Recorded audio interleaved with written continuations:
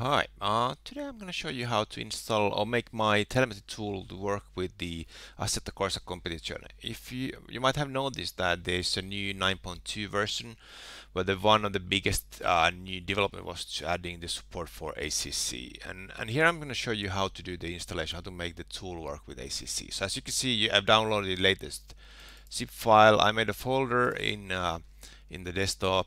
It could be this folder could reside anywhere. So I'm zipping all the files into that folder just so that we have we can do the testing and installing. So you can see it takes a little bit while. So now we have all the files in in this folder. It could be this could be anywhere. It could be like under the C directory or wherever you you want to have your data. So first thing we need to now do is, is to run uh, the tool for once. So we'll do this uh, with it uh, with this 2 GB limited version. You could take any of those, but I'll talk about it a little bit later. So here we go to the First, we have to go to the settings. So you can see if you're new to this tool, there's a, you can open some files. There's some different views you can choose, and then the settings. So let's go for the ACC settings. That's where we start. And as you can see, when we are running uh, the, the, tool with ACC, we want to connect to ACC's broadcasting feature, which gives us a lot of data about the cars and, and, and uh, so we can have a live map and things like that uh, running. So things you have to change is the port. This doesn't have to change, but you can set it whatever you like. And there's a password, because the system uses password. So I'm using uh, some letters. You could do letters and anything you, you like here. Uh, I'm just taking this one zero off. So this is you can have uh, the password is the, for connecting. The command password is actually being used, but I'm just saving it uh, for future usage.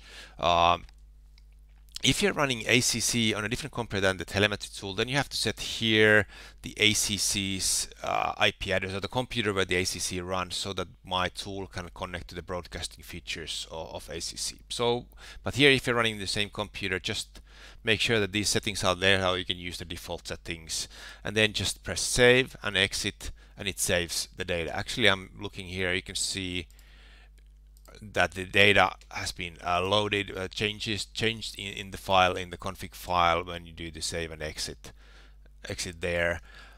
And then uh, it's a little bit slow on this way but yeah and then we have to also change the settings because the game was uh, defaulting to Formula 1 2019 but we need to put in the ACC so we put the ACC here that's the only thing you have to change. And you just save and close. And now when we are changing the game the tool wants to restart but there's lots of things done in the background based on on the, on the game that you are starting with. So you can change the games in between. This just the way it works at the moment. So then okay we restored and now all the settings are ready. So what we need to do we we I'm also using the ACC, uh, the shared memory from ACC. So you have to run the relay, which actually sends reads data from the shared memory and sends it over the UDP. So you could also run my tool on different computer with all the data. As you can see in the new installation, there's a different BAT files which you could use to run uh, the telemetry tools. These three, so one is with limited 2 gigabytes, one limited to 4 gigabytes. But I'm just taking this one which doesn't have any limitations. It typically takes 6 to 7 gigabytes if you have lots of windows open. So we start this, this one, and now we see that uh, the tool is actually listening to 9.996. It's using the Assetto Corsa Competizione. You can also see from the top that uh, which game it's, it's defaulting. You can see it's the same that the relay actually is sending now the data to this port. And now I'm actually starting uh, the, the game itself and everything will go black as, as it should when the game starts is actually uh, for some reason it starts in the full screen mode and will go on the window mode in any any moment now now. Now you can see that ACC is starting and soon we'll get lots of nice nice music running in the background. And what I'm doing now is when the game starts we go just just as a simple way going into a, a single player mode just a Zolder, just a simple practice go starting. And uh, you can see already it takes a little bit while it starts. You can see uh, something happened and it actually changed to the Zolder map. You can see the car which we're driving. If I press drive so green right here. green light. Go go go. So now I can just the game starts. So we get data, you can go here to the driving and you can see if I'm changing the gears here, you can change, see them changing here. And then if you're just driving, let's say go back to the map, I'm just me see that the car is this car and just start driving, okay, um, using the, you can see the car starts moving As you can see the car is moving out there.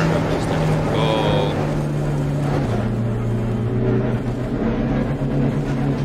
The car is moving. You can see the telemetry. There's some lines coming here. Uh, everything is. That's the way it just it just works. So basically, you get just all the data.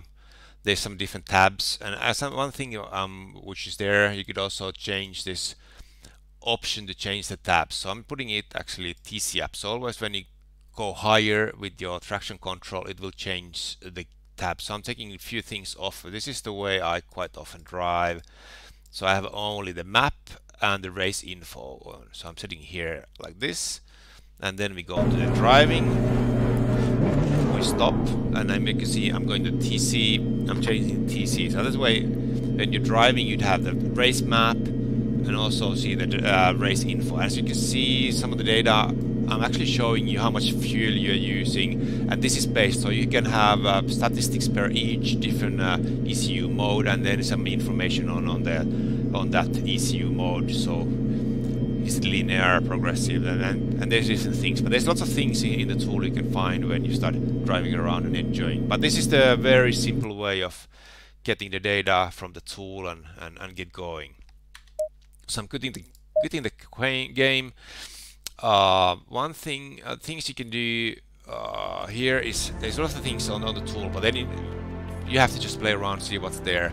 And and with the relay when it runs, you can exit by pressing the E, Control E. So that's just the, like exit, and that's the way it closes down, and then you just exit from the game, and and and that's the way. But that's a very easy way to get get going with the getting the data uh, from from the, the, ACC into my tool and, and, and start driving, getting faster with the driving. I hope you enjoy this. Thanks. Bye.